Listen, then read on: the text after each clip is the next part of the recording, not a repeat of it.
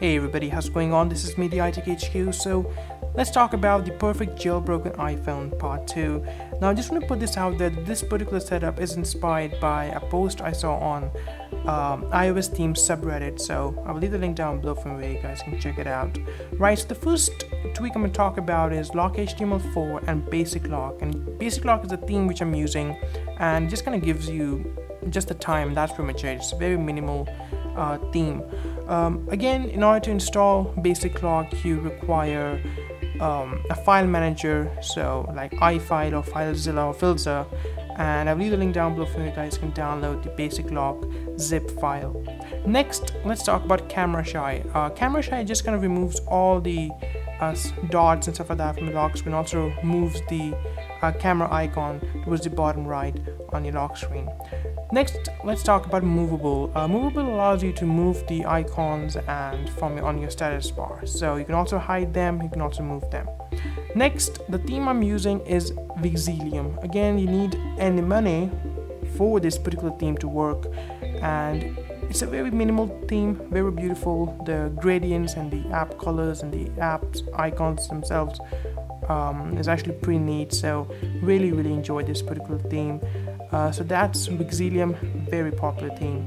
Next, let's talk about Anchor. Anchor allows you to kind of place your icons or apps anywhere you like. So um, it's just like you know what you see on Android basically. So download this again. You can uh, put your um, app, place your app anywhere you like. Next, let's talk about rescale. Now, if you guys are noticing that the apps are just a little smaller, the app icon size is a little smaller, that's because I'm using a different resolution. I'm actually using the iPhone 6 Plus resolution thanks to this tweak known as rescale. It's free, go ahead and download it. Next, let's talk about hide labels. Again, I've talked about this in the first part as well, that just kind of can hide all the labels again promoting that minimal feel. Next i'm going to talk about StatusVol uh, which sort of replaces that huge obtrusive uh, volume HUD and kind of puts it on the status bar. So while you're watching a video it doesn't kind of um, distract you from the actual content.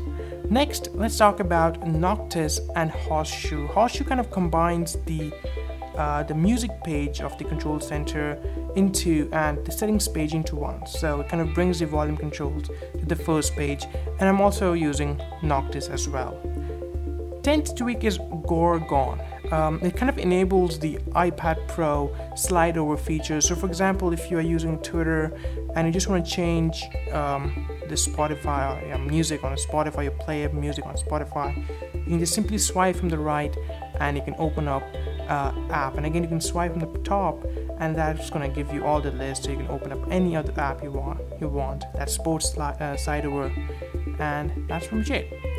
Next i'm using iWidgets uh, for this particular widget right there that clock widget. That's ew3 iWidget clock no weather for iphone 6 again i'll leave the link down below for you guys can install this particular widget as well. So guys this is the perfect jailbroken iphone setup part 2 let me know what you guys think of this down below in the comment section and i will talk to you guys all in my next video. Bye bye